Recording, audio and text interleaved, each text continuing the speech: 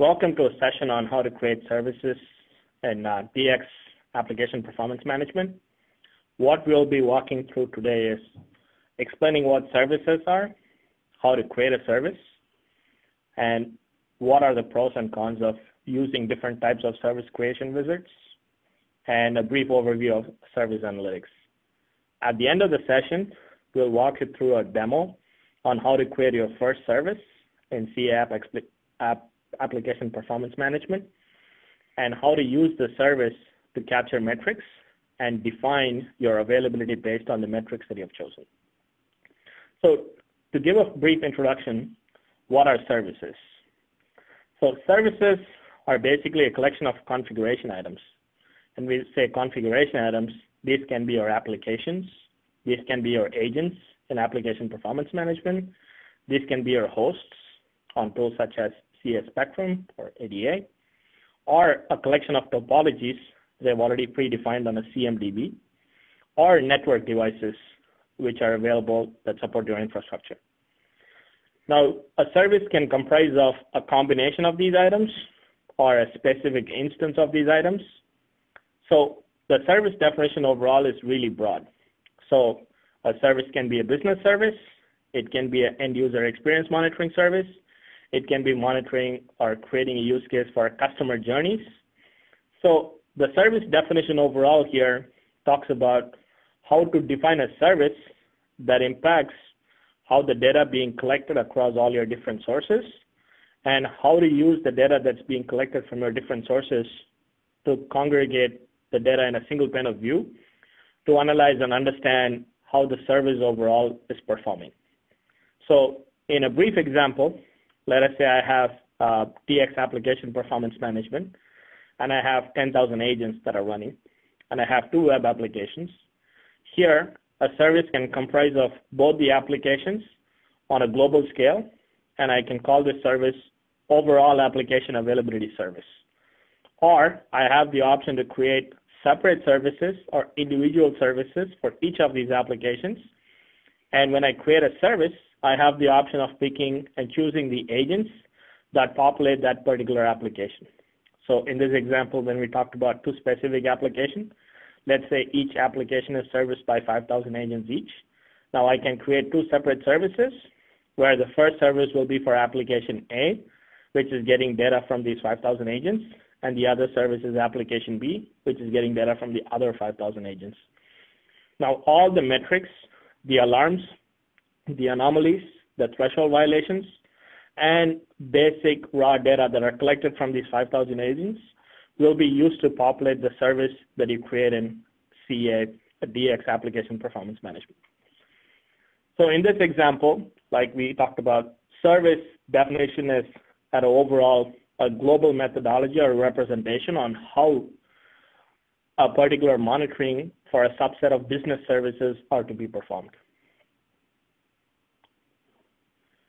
Now, at a bottom line, when you look at it, uh, when you want to monitor the health of a specific service, you need to take into account the different components or the different endpoints that comprise of that specific service.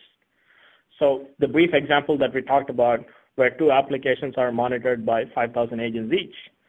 Now, at a higher level, that application might need network routers to work. It might need web application servers to work. It might need physical virtual machines or a containerized environment like a Kubernetes uh, setup or an OpenShift setup to work. So the metrics that are collected from these instances too define how the application's health is performing. So beyond just a specific source, which is the 5,000 agents from application performance management, we also need the metrics and we also need the uh, data that's being collected from the other supporting components that make up this application. So a service definition can be really granular or at a really high level. There is no set specific conditions on how services are created. It's entirely up to an administrator or a business owner to map out what a service definition looks like for their specific use case, and then pull in all the required components or all the required endpoints, which we call as configuration items, to create the said service. Now, how does service creation work? Now, when you look at the service creation workflow, the basics methodology behind service creation is you first have to define how your service has to look like, which is, is it at a global level? Is it at a granular level? If it is at a global level, what are the different metrics and what are the different components that you need to pull in to create the service? So basically, when you get started with creating a service using the wizard, which is what this example shows you, the first thing you need to do is add the service metadata, which is the configuration items. So here, you'll basically collect information from different source products. So in this example, let's say I want to create a service for the application A, which not only has 5,000 APM agents, but also has three web servers that are monitored using uh, Spectrum robots, um, two of the network routers that are monitored using NFA and ADA, and you also have performance management data from these hosts. Coupled on top of all of this, let's say that you also have some routers that service the application. Now, data from all these are not going to be available from the same source product. The agents will have metrics that are getting reported into APM or application performance management. You'll have your network data going into NFA or network flow analyzer or any other tools you might use to capture network data, the router data. And then you have your uh, host and uh, virtual machine information that flow into products like PM or any other source product that you might have. So the second step, once you have defined what your application or how your monitoring has to take place under the context of a service, the second step is to choose the appropriate source products to get the information into the service. And now the third part, once you're done with this, is within the source product, what are the individual elements that make up the specific application or that power the specific application. For in this example, we talked about three of the web server hosts that are monitored using Spectrum and also by PM, and you want to pull metrics in. You choose those specific hosts, either via an IP address or a host name or a cluster name, and add it to the service. You do the same exercise from NFA or any other uh, flow analyzer for your routers and other appliances that comprise of the network part. And then you've already chosen the infrastructure part. And the third part is your application, which is the 5,000 agents. Now, the agents can be chosen with agent names or by host names or by cluster names or by process ID or by application name, which we will look at when we go to create our first service. So now you have broadly defined what your service is, you have understood all your source product that power your application or your service. You have identified the individual components inside the source product that populate your service or service your application. And the third part is editing the weightage and editing the metrics. So here at a high level, to give you an example, let's say we have this example of an application uh, that we just talked about with agents with the hosts that are monitored by Spectrum and PM and with physical routers that are monitored using the flow analyzer. Now, if the router goes down, that means regardless of your backend database or the agents or the application server or the web server running, the whole application becomes unserviceable or unusable. So in this case, from a contextual perspe- perspective, I need to make sure that I assign a higher weightage to issues concerning networks or infrastructure because that becomes the bare bones or the basics for monitoring your application. Now, out of the 5,000 agents, let us say out of the three application servers I have, one of the application server goes down. That might carry a significantly lower weightage than something that's affecting my overall network or something that's affecting my overall infrastructure. So in this case, I would assign a slightly lower weightage or a lower importance to a specific application server compared to what I would assign as a significance for the router or the network layer or the infrastructure layer. So this is what we call editing the framework requirements, basically. So once you choose the source products, you edit how important that is to in the context of the service creation.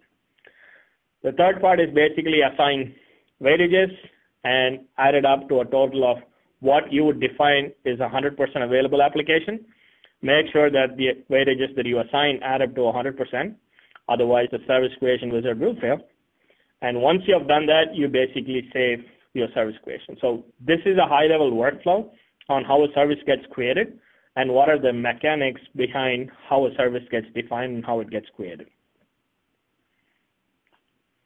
Now, moving forward, uh, we have talked about all these source products. So keep in mind all the metrics from these source products are not stored in a single place. For example, we talked about APM. So the metrics from these agents and metrics from any database hosts, they're not exactly stored on a backend database or an Elasticsearch data store. They're stored in what we call TAS, or Topology as a Service, so a topology analytics store. And when we create services, these metrics get pulled in from TAS. Similarly, we have network storage or NAS, and then we have alarms and raw metrics coming in from these products that are stored in Elasticsearch. So the service creation wizard basically not only pulls in raw metrics or basic host names, but it also pulls the topology. It also pulls the identification of how these individual items work and how it is in importance of the context to a service creation. So it basically talks to three different backends, the TAS, the topology store, the network store, and Elastic to pull in the relevant information that you need to create your own service. Now, how do you create a service? We talked about what is a service, how do you go about defining a service, and what are the different backends from which data is being pulled in order for you to create a service. Now, what are the ways of doing it? In DX Application Performance Management and Operational Intelligence, we offer three ways of creating services. One is through our interactive UI wizard, which we will show you a demo at the end of the session. The second is through REST APIs, which we have published on our documentation page. So you can create services using REST APIs as and when an application gets created or bundled.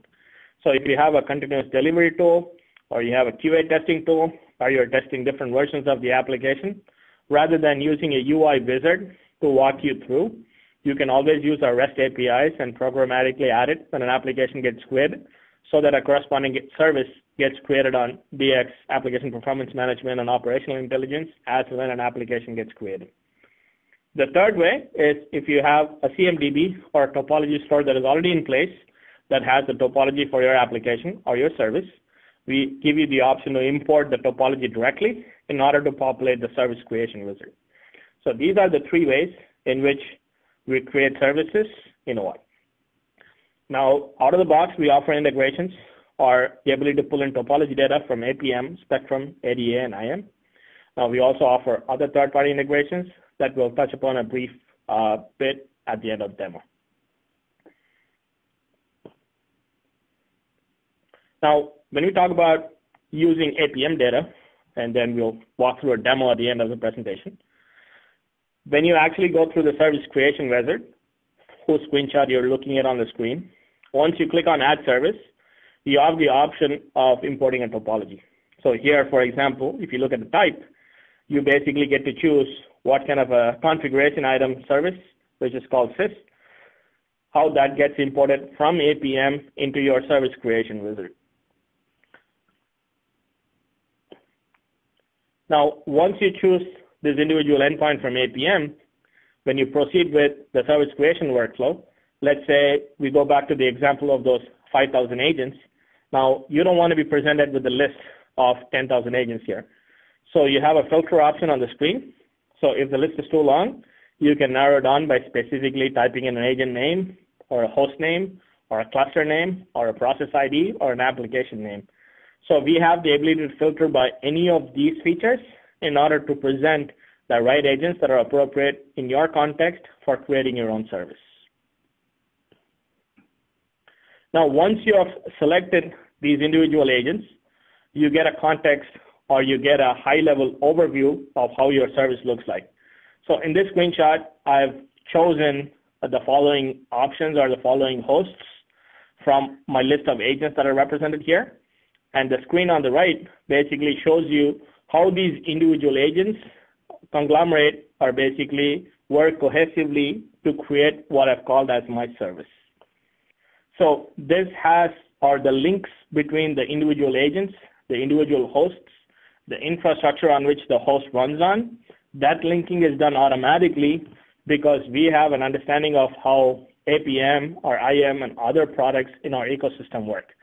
So if you have an agent that's running on a web server that's monitored by Spectrum or PM, we have the option of showing you the infrastructure layer, and then by clicking on the infrastructure layer, you can see the individual agents that are running inside that infrastructure, and then that gives you a context of how your service is defined. So you can view at a higher level on the network level, or the infrastructure level, or the application level.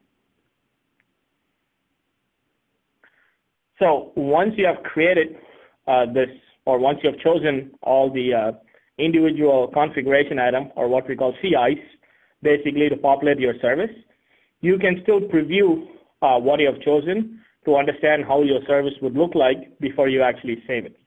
So this way you get to pick, make and choose all the right services or all the right CIs that comprise your service. And you also have the option to ensure that you have not left out any specific endpoints or any specific items that you might think how your service might be impacted when creating your configuration items. So in this case, uh, basically we choose all the nodes, all the infrastructure hosts, all the network appliances, and then you have the option of preview how these all fit together to create your service before you actually save it. So once you have created this and once you have already chosen all the individual endpoints, you can preview the topology. And the next thing to do when we go back and look at the workflow is you assign weightages and you assign uh, sub-services. So what this means is now you have a service created, let's say called TixChange, and now TixChange has two network routers, three physical machines, two virtual machines, and 5,000 application agents that are used to power that whole service.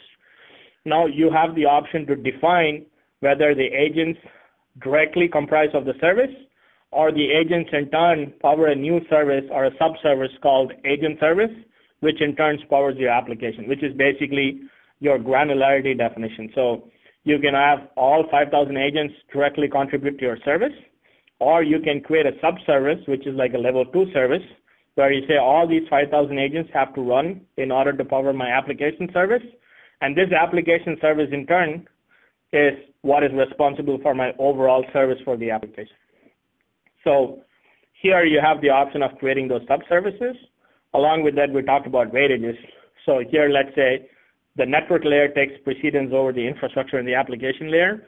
Let's say out of 100% overall availability, 70% is dictated by the availability of your network devices, 20% is dictated by your availability of your infrastructure devices, which can be physical hosts or virtual machines or any robots that are used to gather metrics from these sources. And 10%, the remaining 10%, 10% is how your application agents and your individual endpoints power the service. So I can assign these weightages here in the screen.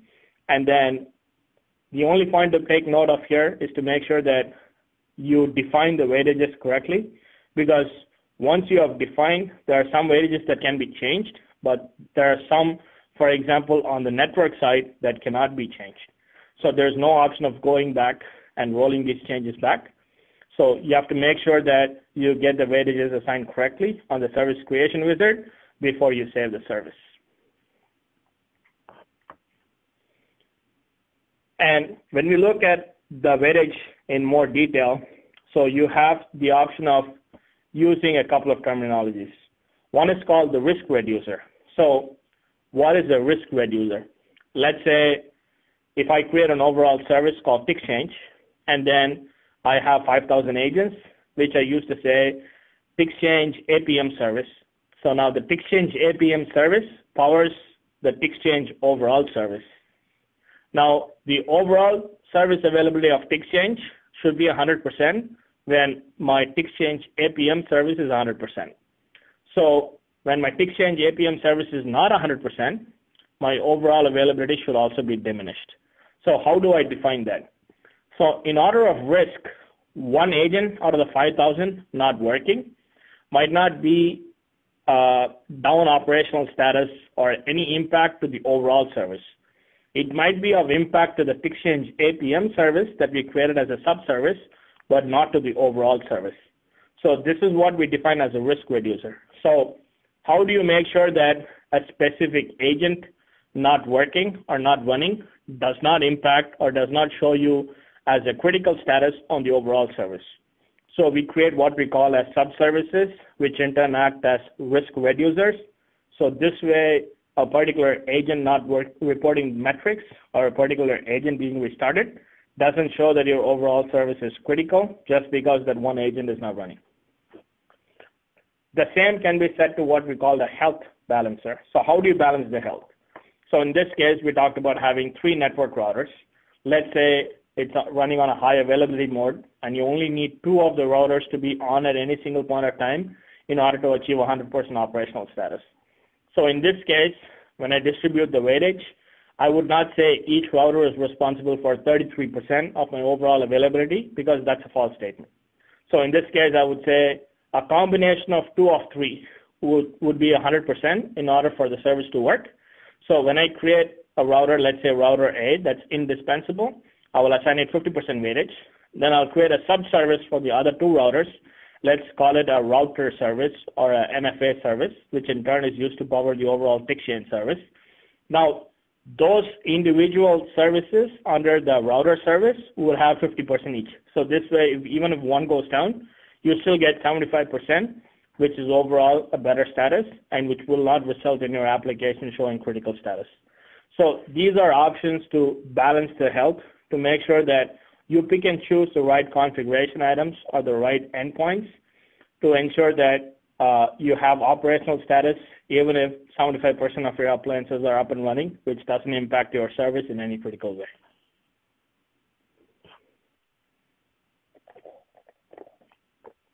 Now, when we look at the metric calculation for services, we look at, we talked about how to assign weightages, how to calculate the health, how to calculate the availability. So this slide just explains how all these combined together shows or works in context of an overall service. So basically, the first thing to do is to capture the health we need to make sure that we collect metrics from all these three endpoints, from the application tier, the infrastructure tier, and the network tier. The second thing is once we have all these three, we not only show just whether the overall service is available just by looking at if the agents are reporting data or not. We also calculate the health by analyzing the metrics that are coming from each of these endpoints. Let's say we have 5,000 agents. We not only get the status if the agent is up or down, but we also look at the individual metrics and the alerts that each of these 5,000 agents are reporting. So if a particular agent is reporting high memory usage or high CPU usage, that will in turn result in showing you a decreased availability for the overall service. Even though the agent is on and reporting metrics, we also look at the individual metrics and the context of the metrics to give you an overall availability for your service based on what we decipher that the agent is trying to tell us.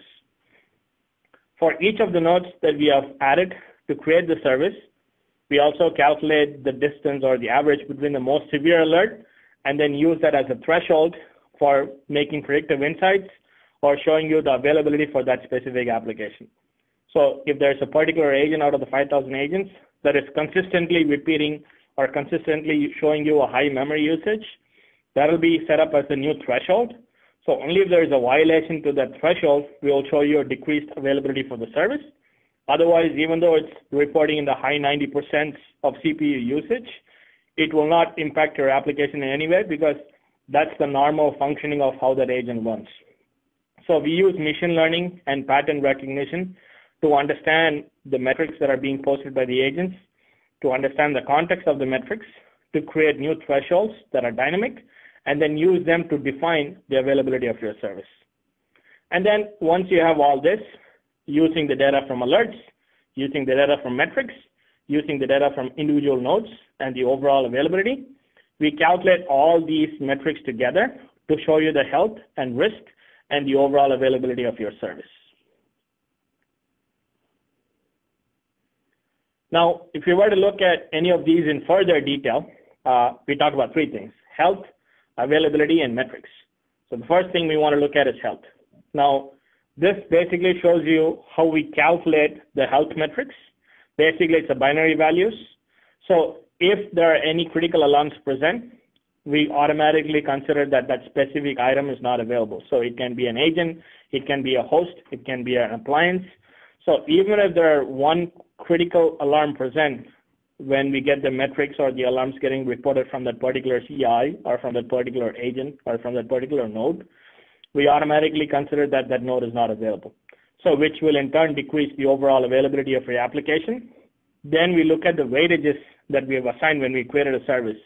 Now, if that CI, let's say, is a router, and that router has a critical alarm, and that router carries 50% weightage, then we automatically show you that your overall service called TixChange is only 50% available because this one router is having issues.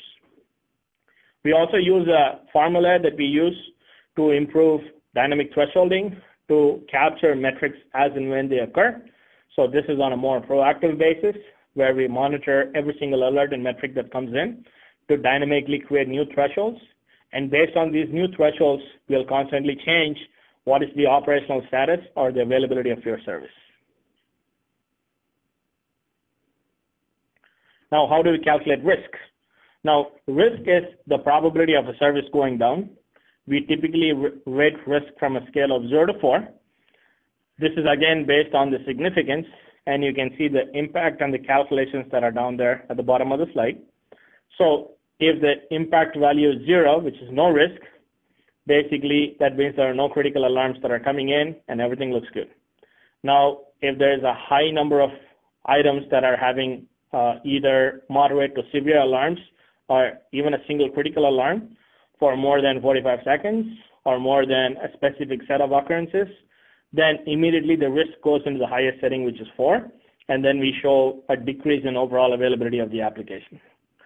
So the more the critical alarms, the higher the risk, which in turn means lower, lower availability of the application or lower availability of the service. Now, on top of the service, we talked about just using all the appliances or CIs or nodes to calculate a service.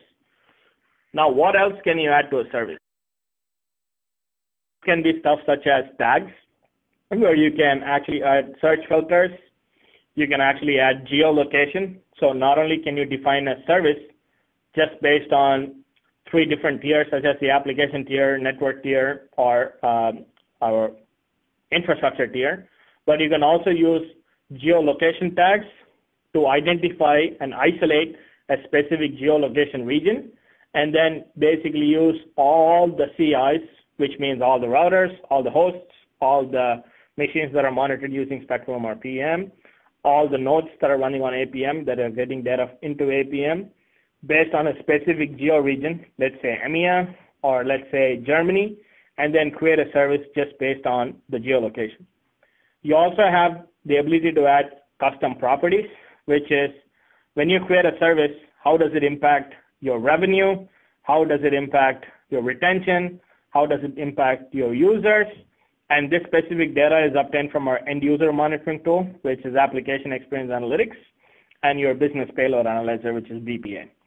So you can not only show the operational status of a service just based on your infrastructure, your network, and your application tier, but you can also show how this directly impacts your revenue, how this directly impacts your retention, how this directly impacts your user availability and your application availability, and any user feedback that comes in out of a reduced availability for your application or your service. So this works in conjunction with our end user monitoring tools, like I just said. So you have a single pane of view that gets data from all these sources, that analyzes the metrics, that assigns criticality, that assigns risk, and then in turn shows you the availability of your service that you created in context of user retention, revenue, percentage of users who are getting affected, any specific geolocation or any specific data center that goes down, and all this in the context gives you the definition of what a service is overall. So before we move on to our hands-on, where we create a service, just to recap what we talked about. So a service is something that's universally defined based on a requirement from a business application owner or a process owner or an administrator. This can mean either an application-only topology or an application with infrastructure or an application infrastructure and network topology. You have the option to pick and choose what we call CIs or individual configuration items or individual hosts, nodes, clusters, agents, process names, application names to create a service. We talked about how to create subservices, the risk reducer, the health balancer, how to assign weightages, how to assign importance, how we calculate criticality, how we get alarms, how we analyze alarms, how we create dynamic thresholds, how we use machine learning and pattern recognition to understand the metrics that are coming in from each of these CIs or configuration items, how that in turn affects the overall availability of your service. And then we also looked at how the severity, how the criticality, and the availability is calculated using metrics and weightages. And then we also looked at how the overall availability of a service can be viewed in conjunction with end user metrics such as revenue, your user retention, your geolocation, the percentages of users who are getting affected by a reduced availability in your application, and the overall creation of a service in general. Now, with this, let's go to a demo where we'll walk you through how to create the service using the service creation wizard. And then we'll basically walk through creating a sub-services, assigning weightages, how to import data from a topology store, how to create your own service, how to view services in context of end user metrics, and basically the ability to create a service and view the criticality and availability. So once you log into operational intelligence, the first part you'll be navigated to is the services menu. Now, in my case, I have two services created, Exchange and a dummy service. So the first thing we need to do is launch the service creation wizard. That can be done by clicking on the three dot menu on the top right and clicking on a button that says add service.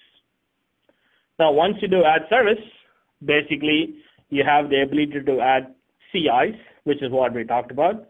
So CIs are automatically split into three categories, applications, infrastructure, network. For the application, data can be sorted by application name, by agent name, by host name, by process name or type. And this data typically comes in from our DX application performance management tool. When we click on infrastructure, this is the data that comes in from our performance management, UIM, and Spectrum tools, and it can be any of your own data sources. Now here again, you can sort by UIM group, your host name, your IP address, your type of virtualization environment or physical, Kubernetes, OpenShift, containerized environment, or if you're using cloud monitoring, your VMware data center. The third type, your domain, is your network type. And here we use Spectrum and PM basically, and your NFA tools to basically collect information from your network part. So this can be topology data, device address, device name, a router name, a PM group, a Spectrum container, or a global collection agent. So in our example, I want to create a service in context of an application, and I want to use specific nodes, hosts, and a process name to add individual CIs into my application, and then use that application to create a service, assign weightages, and create subservices. So here, if I go to applications and sort by agent name, these are all the agents that I have reporting into my operational intelligence and my application performance management backend. So here I can either filter and look for a specific host. So I automatically get it.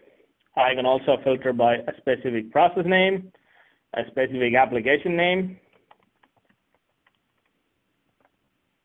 or basically have the ability to type or specifically get some custom values put in that matches the cluster name or the agent domain name. So in this case, uh, I have one, which is the DXE. So I'm just clicking on the plus sign here, automatically adds it to my CI. So this is one of the elements that I've added. Now going back into application,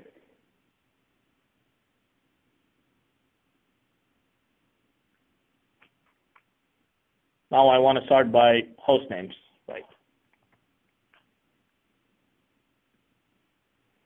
So here, once I apply the filter, I have the ability to basically look for specific hosts and basically add it to my sub-services and use that as a CI to power my main service. I don't have any data coming in from other source products, so the example is going to be the same. So you basically pick and choose what you want to add, And then once you're done, you have the ability to add elements and then look at the preview and also look at the topology. So in this case, going back, we're going to go ahead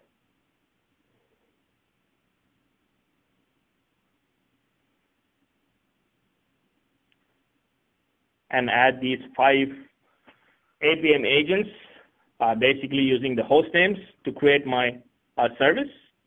And now after I add each of my CIs or each of my agents, I have the ability to preview the topology for this one. So assuming I had the experience collector running on a specific infrastructure, I have the ability to view the infrastructure layer or the physical layer.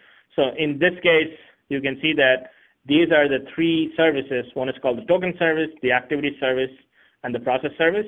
So it's the same uh, Java agent or an APM agent that monitors all these three processes. So uh, even though I add a specific agent based on the host name, I see all the processes that that agent is monitoring under the host, and I get it automatically under the topology preview. In this example, I have an agent which is also acting as an infrastructure agent, which is a universal monitoring agent. So I can selectively view just the infrastructure part or the agent part or a combination of these two. So this is how uh, selecting a host name works. So if you select the host name and the host has an application agent and an infrastructure agent that are monitoring the same host, you get both of these automatically picked up by our tool and automatically previewed to you before you create your service.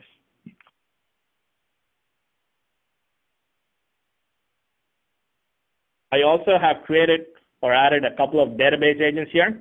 So this is basically MySQL agents. So again, I can preview them. So this shows me the backend database. And this shows me the agent, which is an APM infrastructure agent for database that is monitoring the act actual database. So now that I've picked all these individual components, I click on add elements and I automatically create a service.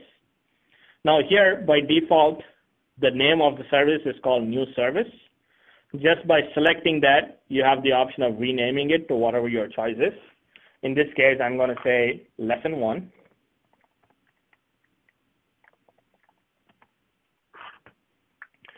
I can provide a brief description for the service.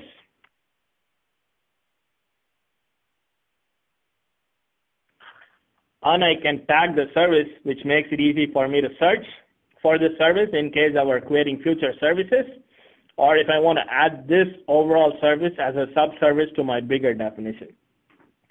I also have the ability to tag locations using geolocations that I talked about, and also add any custom metrics, assuming I have data from my end user monitoring tools such as revenue, such as percentage of user retention, percentage of users getting affected by non-availability of this service, uh, based on crash data, criticality, and the risk. Now, once I do that, if I click on the preview tool, which is the button on the top, now you get uh, the definition of how the service called lesson one tutorial looks like. So these are all the individual nodes. You can see how these are linked together. So this is based on the host. So I can view the infrastructure part only, the agent part only, and then basically view the individual topologies for the elements or the CIs that I added to create the service and how they are connected with each other and then how that's going to power my overall service. The second thing we are going to take a look at is let's assume that underneath one of the databases, you have a high availability database. So now you want to create a sub-service here or you want to remove or rename how this link gets drawn. So you have the option of creating a sub-service by unchecking the box and then by creating a new grouping service here. And then you link it to the sub-service bar. So this I created by unchecking the create a sub-service and instead using this new service, I added a grouping service to this database. And now I'm calling this service database high availability agent. So this I can always do, and these are all the selected filters. So you see that I'm using my database as the main element. I'm adding a grouping service to it. So which means if I go back to the overall service, I'll be able to see that this particular database has a sub-service associated with it, and then basically use that sub-service to power part of my overall service. You can always edit filters on specific hosts. You can change names. So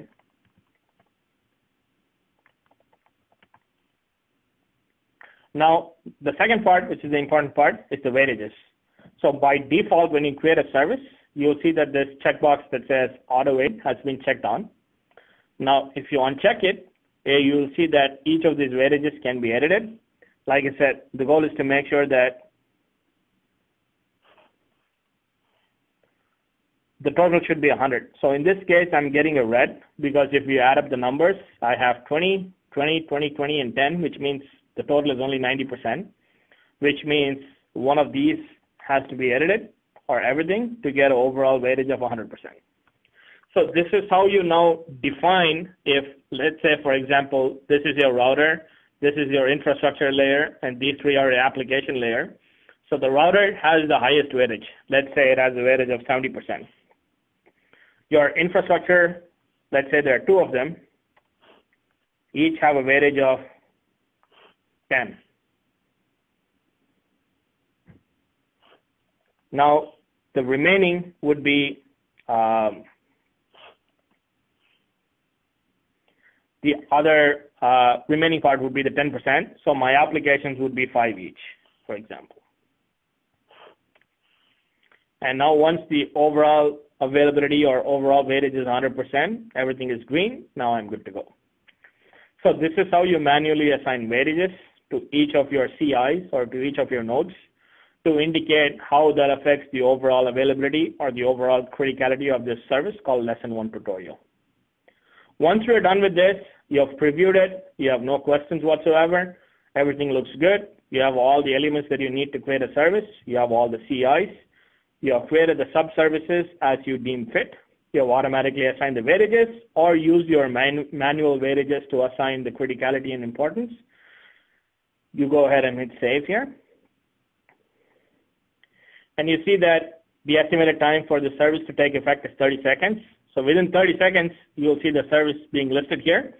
And then based on the elements that you have chosen, you'll see the metrics under each of them and how this impacts the overall availability of the application. So while we wait for the service that we just created, let us take a quick uh, peek at some of the services that I've already defined for the purposes of this demo. So this is my Exchange service. And looking at the topology here, I can show you how this is linked to each of my backend sources. So I can see that I have assigned an equal weightage here. So which means uh, there are two running on each data center, one on the East Coast and one on the West Coast. Each of these have either a high critical service alarm. So if you remember the presentation, even if you have one service alarm, that means that the overall availability is reduced and the risk is denominated as high. So you can click on that particular node and see all the risks that are automatically tagged here. And then by clicking on the menu, it will take you directly to the alarms page where you can actually act on the alarm. So you can assign this alarm to someone else, or you can basically use automatic remediation using Automic, or you can create a service ticket. Now, this is done as part of a different tutorial called Alarms and Evidence Timelines. So I would suggest you take a look at that course. Now going back here into our service that we created, if you notice, you also have the ability to view the topology for each of the individual nodes. In this case, my Exchange overall service is denominated by two databases that are running on each data center. And the availability of the database dictates the availability of the service. Now there is one service which is 100%, which has equal weightage. So in this case, the health of the application is only 66% because both of these are only 50% available. So this means out of the 33, it's only about 16.5% uh, available. This is 16.5% available, and this is 33% available. Put together, it's 66% available. So even though there are two high risks on individual databases on two different data centers, since my main application process is running fine, the risk is moderate. But looking at an individual node level, you see that the risks associated with these two are high. Now, if you want to understand more on each of these, on how to view the alarms or how to view individual impacts of these alarms on the overall service, I would suggest you go through the course on alarms and evidence timelines. Now, going back into the services page, just to wrap up, by the way, our services just came in, and we are still waiting to collect some metrics, which we will see in a little bit. But then using this as a demo, you can see that these are all my individual services. There's no limit on how many services you can have and how to create a service. We looked at assigning weightages, creating sub-services, and then you also have the ability to click on a specific service. There is no option to delete a service, but you can deactivate it or you can edit it. So let's say I want to edit a running service. This is where I would go in and edit it. If you notice, the name is grayed out, which is one of the points that I made during the presentation. So there are certain elements that cannot be changed when you create a service. Make sure that you get it right when you create a service, such as the name, such as the weightage. But the weight can be edited at any point in time, assuming it's not a critical service. So can be the custom properties, which is your revenue, your percentage of users impacted, so on and so forth. Now, assuming you have all those end user metrics coming in,